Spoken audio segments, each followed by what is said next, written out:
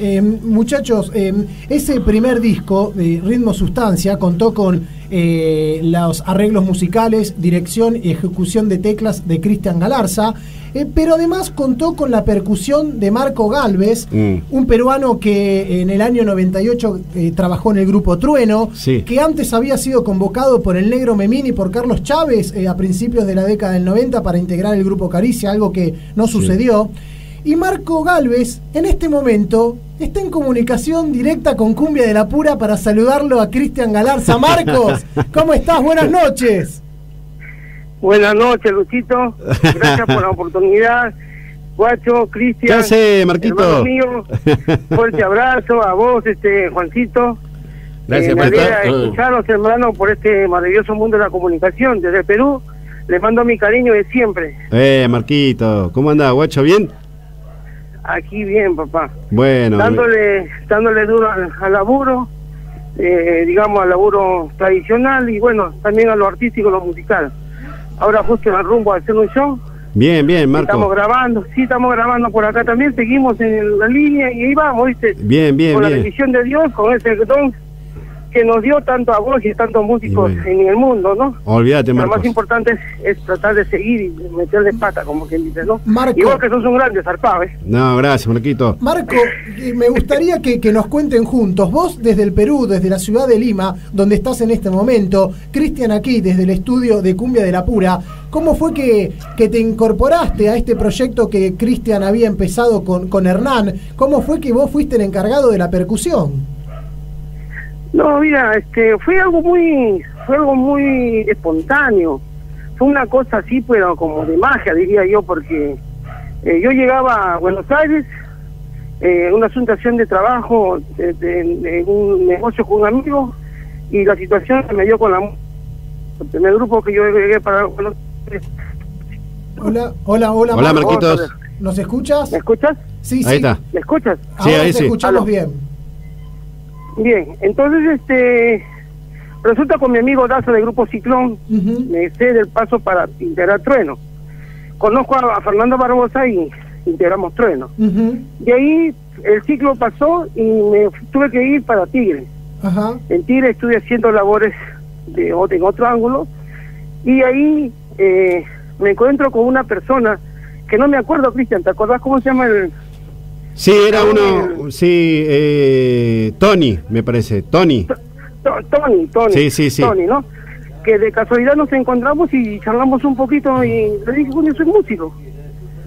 Y se quedó sorprendido, pero vos sos peruano, sí, le digo, soy peruano, soy músico, pero no le dije No, porque más nada. yo, yo siempre admiré mucho la cumbia peruana, ¿viste? Ajá. Eh, lo que era caricia, todo eso. Y cuando lo escuché tocar a, a Marquito me gustó mucho porque no, no entendíamos no entendíamos mucho, más de- por los arreglos, ¿viste? Que yo me, me gustaba la limpieza que tenía, ¿no? Un capo, terrible, mucha experiencia siempre tuvo. Además, la, la percusión peruana siempre fue mucho más elaborada y desarrollada que lo que se hacía en Argentina. Sí, en sí, ese sí. momento. Y acá el toque de mala fama lo puso él a- arriba con la percusión. eh, olvídate que había una maqueta, ¿no? Pero después la, la forma de la tocada de él es una forma de tocada tirado para el colombiano, si podría decirlo, de mala fama, pero él, eh, al ser peruano, tiene otro toque, ¿viste? Y a mí me, me- me encantó lo que hizo Marquito, es un laburo impresionante, siempre fue muy profesional en lo que hizo.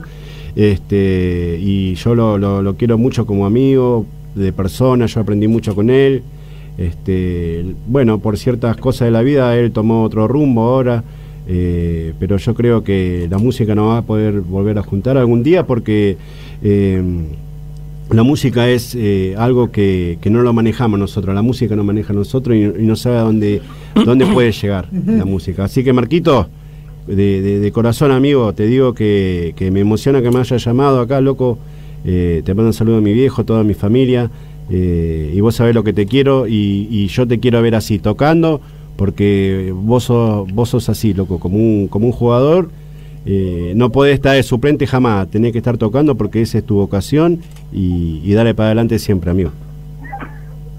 Te agradezco, Cristian. De igual manera, yo sabes el aprecio que les tengo, muy aparte del arte como persona. Aquí lo más importante, yo siempre he dicho, que el músico no solamente demuestra el, don que Dios nos dio, sino más que eso, primero la conducta, el perfil. Yo creo que en eso eh, combinamos mucho desde que nos conocimos. Y cuando armamos inclusive material, la verdad que lo hice con mucho cariño, con mucho amor. Yo creo que eso es, de- Sí. quizás tal vez digo, es la magia que lleva ese disco que hasta hoy se escucha y se seguirá escuchando y una vez te lo dije. Marquito es muy, muy bueno para todo, eh, de amigo, todo, pero no, no, no lo puede invitar a comer nomás, lo único. ¿Por qué? No, no, porque Alf es un poroto al lado de él. Eh, Tiene siete estómagos como Alf, no sabe. No, Los peruanos son No, pero comer, este, ¿eh? pero come, pero impresionante. Es Eh, comilón, eh, es eh, comilón. Es comilón. Ahí, ahí está los chamullos, Es Marquito, comilón. eh, es comilón. Come más que el chavo.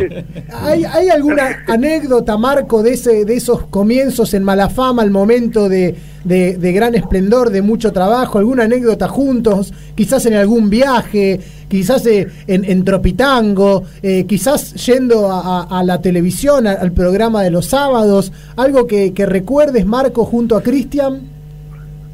Sí, hermano, casi desde el inicio, desde que armamos el material. El primer impacto mío fue en Argentina es verlo tocar a Cristian. Así como ese, si se le dio un shock conmigo, igual me dio un shock porque tiene una rapidez en los, en los- en los dedos que es, es, es nato, eso es nato, eso no lo quita nadie. Entonces, lo que sí que te podría decir, lo que me impactó después de ello, son los shows que se hacían en vivo. Ahí no había playbacks, ahí no había juguetito extraño, todo era en vivo y los ensayos eran pues duros porque exigíamos. Mm. Por eso que yo creo que el sacrificio y el esfuerzo que se hizo en esos momentos se han dado y se seguirán dando con esos discos que hasta hoy se escuchan, ¿no? Pero el mejor recuerdo es que la buena onda con todos los chicos, el cariño, eh, el afecto, la gente. No, pa- para mí la mejor etapa de mi vida y en esas, en esas justo en esas etapas que yo hacía la grabación, hermano, y me emociono, es el amor a mi hija.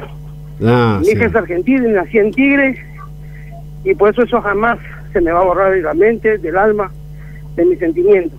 Los quiero mucho a todos, a toda la zona norte, a todos los músicos que los conozco y que me conocen, a Cristian, a vos, la familia Galaza, a Juan, a Tamuyo, que jugó un papel muy importante en lo que es las coordinaciones, aunque por ahí salían cositas, digamos, no, no, no lo que uno quería, pero siempre peleando, ¿no? Al señor Álvarez, al pa- de Bancalari, A la, fa- a la familia, la familia de, de David se portó siempre bien con Álvarez, de nosotros. David Álvarez, sí, yo lo recuerdo a todos, a los de la Trafi, a Piturro, a Martín Fernández, el que hicieron esos sonidos, Coco Campodónico, y tantos personajes que jugaron un partido importante, a Huguito González en la grabación, Sí, sí, a, sí. a, a no, hermano, para Yo, Marco, eh, uy.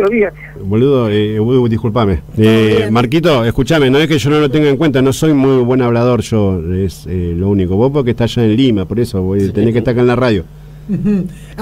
Evidentemente hay, mucha gente que, que nombran, evidentemente muchas personas se han hecho eco de- de- del, del trabajo de Malafama en aquellos tiempos eh, y también es evidente que ha habido eh, un grupo eh, muy importante, por eso esa sensibilidad a, a la hora de hablar. Marco, nosotros te, te agradecemos muchísimo esta, esta comunicación, que, que hayas aceptado charlar con Cristian al aire. Este, de verdad, fue un, un placer poder haber cruzado eh, estas palabras entre ustedes en el aire de Cumbia de la Pura.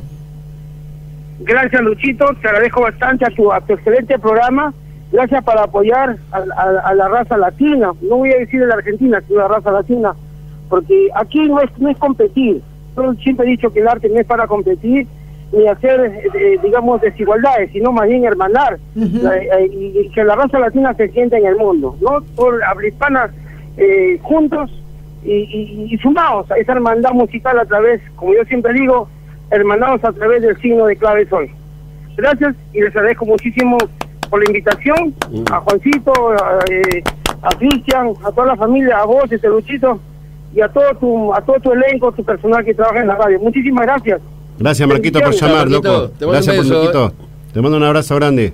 Hasta la próxima, Otro Marco. para vos. Chau, chau. Gracias. Marquito.